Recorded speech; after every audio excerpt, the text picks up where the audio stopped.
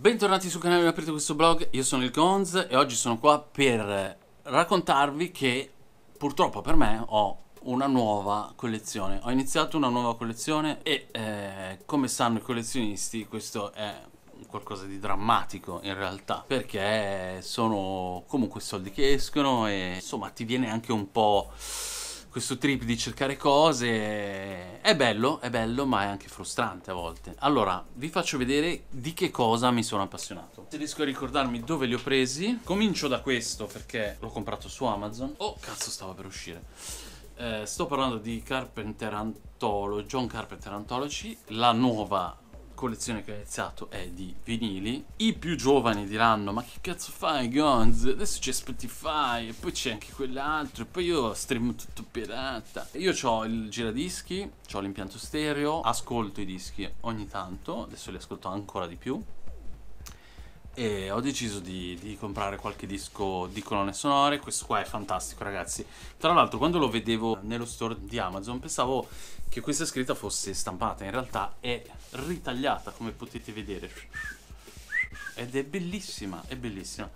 Dietro c'è il buon John, che è veramente un figo incredibile veramente un figo. Vediamo se questi non li devo far cadere ragazzi perché se si rompono bestemmio. Ci sono un po' di foto sul set come potete vedere nella busta interna.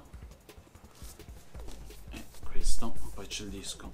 Ragazzi ma cosa c'è di più bello di un vinile? Allora, il mio piano è anche imparare magari a farli suonare con due piatti, chissà se ci riuscirò mai. Così da fare qualche seratina con gli amici dove metto su le canzoni, insomma le musiche dei dischi, dei film e, e insieme eh, si, si, ricordano le scene. Insomma, una roba un po' da, da cinefili, da amanti del cinema, da amanti della musica.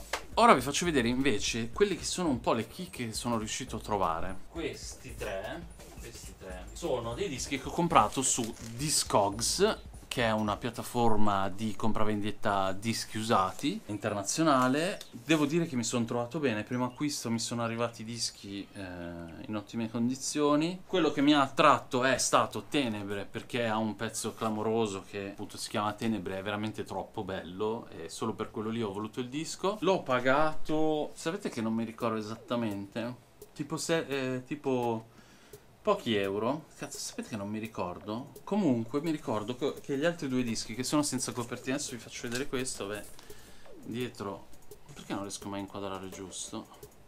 C'è pure dell'argento, cosa volete di più dalla vita? Ma uh, l'avrò pagato tipo 7, 7 euro, ecco. Quello che mi è costato di più è la spedizione, che costava tipo 9 euro o qualcosa del genere. Allora io per ammortizzare la spedizione mi sono comprato anche due dischi senza copertina. perché senza copertina costano molto molto meno perché si svalutano tantissimo però io li volevo per farli suonare così.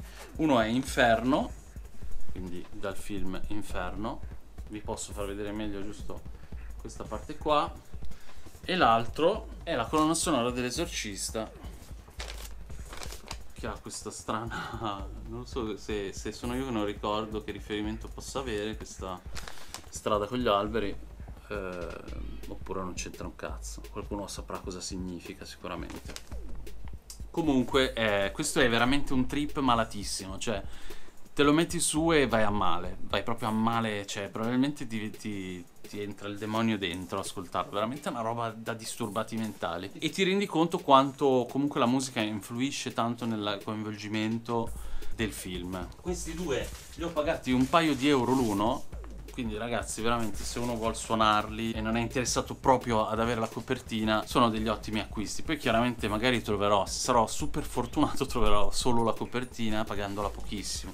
Quello sarebbe il top. Poi invece per mercatini in due mercatini diversi, anzi no, uno in un negozio dell'usato, a eh, nelle Marche, insomma, ero nelle Marche, così non facciamo torto a nessuno, ero nelle Marche, in un negozio dell'usato ho trovato questo disco qua, che è la colonna sonora dei Gremlins, questo è stupendo, l'ho pagato, l'ho preso insieme a due film, no, quattro, l'ho preso insieme a quattro film, alla fine mi ha fatto uno sconto anche di 2 euro, grandissimo, eh, lo ringrazio, lo saluto anche se non mi ricordo come si, mm, anzi non credo di aver mai saputo come si chiama il, il gestore del negozio eh, alla fine mi è costato 4 euro fon- fondamentalmente. Perché costava poco? Perché questo apparteneva a una radio e c'è sopra un codice scritto a penna c'è, dei timbri qua sono dei timbri quindi comunque questo svaluta parecchio io non sono un esperto magari un giorno diventerò di collezioni di dischi però mi sembra aver capito che se scrivi sulla copertina poi un po' si svaluta comunque. E poi vabbè, è, è, anche leggermente, cioè non è, non è proprio nuovo, ecco, qualche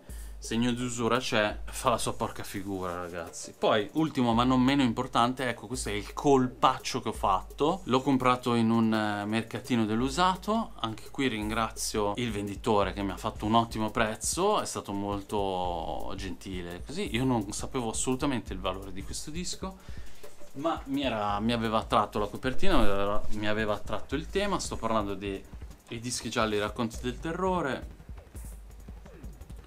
Scusate, ma questo giallo spara tantissimo. Sono 1, 2, 3, 3 racconti di Edgar Allan Poe, Il gatto nero, Il cuore rivelatore Le esequie premature interpretate da Ubaldo Lai. Ubaldo Lai è un attore del passato che ha fatto un po' di televisione, un po' di film e ha fatto anche tanta appunto storia alla radio perché una volta prima che insomma ci fosse tutto quello che c'è oggi eh, la gente ascoltava racconti di spionaggio, dell'orrore o d'amore, non so, insomma, tutte queste vicende le ascoltava alla radio. Eh, Ubaldo Lai, tra l'altro, è anche eh, nel cast di, dell'esorciccio, non so se c'entra, ma lo volevo dire. Comunque, eh, io ho ascoltato un solo racconto con mio figlio e ci siamo divertiti un mondo. È veramente una figata galattica, è come guardare un film, è fatto benissimo. Io l'ho pagato 5 euro, sono andato a guardare quanto costa. L'unica copia che si trova in rete attualmente, quando l'ho guardato, nelle stesse condizioni più o meno di questo, costa circa 50 euro. Quindi posso tranquillamente dire di aver fatto un bel colpo. Non lo rivenderò quindi chi se ne frega. L'importante è che insomma è una figata galattica.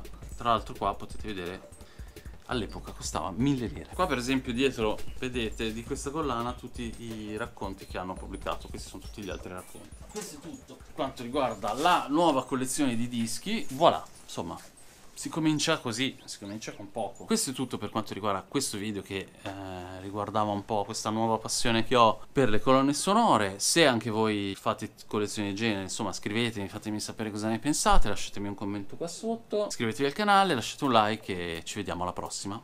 Ciao!